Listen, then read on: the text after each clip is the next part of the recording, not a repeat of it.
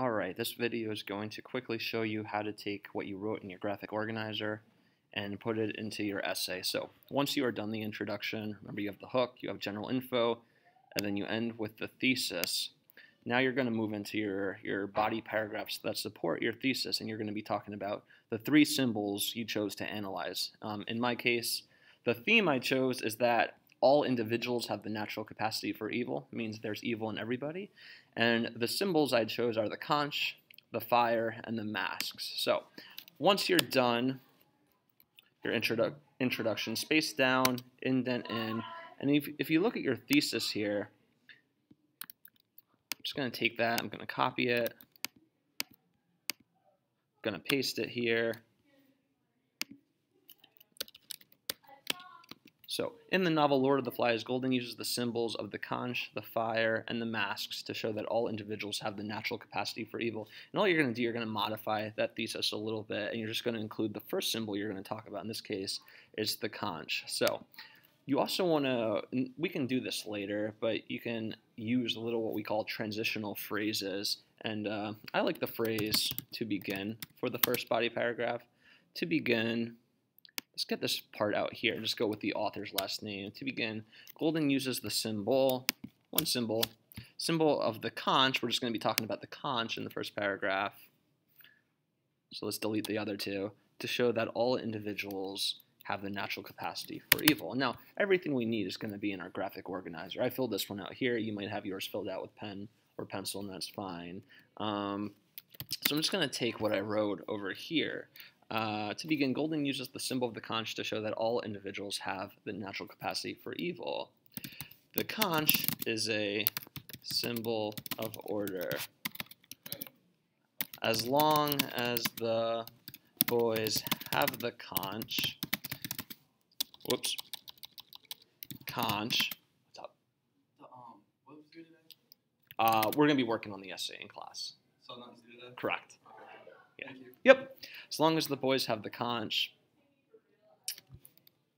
they are following rules and behaving in a civilized manner. So you see I am taking exactly what I wrote on the right, but you might change it up a little bit. This is, the right is not, you don't have to take it word for word. It's just meant to be used as guidance. Um, but I'm going to continue how the symbol functions because there is an inner evil in all of us. I'm going to call it the beast there in parentheses. Um, I'm just going to have to modify this sentence a little bit. Humans must keep the beast locked away. We do this, just again copying, by living in a society and having rules. But you always want to come back back to your main thesis, and you want to talk about how the how the the, the item functions as a symbol. So I'm going to write that sent sentence. The conch supports this theme because the conch symbolizes rule and law. Now, of course, you need evidence, and you need two pieces of evidence, right? Texts or uh, quotes from the text uh, to support your response. So I'm going to take this first one. I'm going to write, to prove this, golding, or you can just use the author. To prove this, the author writes, and then I'm going to take this sentence here, which Piggy says this one. Golding writes, did not copy it? Try that again. Mm, for some reason it's not working. Try again. All right, just it's just switching the formatting. I'm just gonna write it in.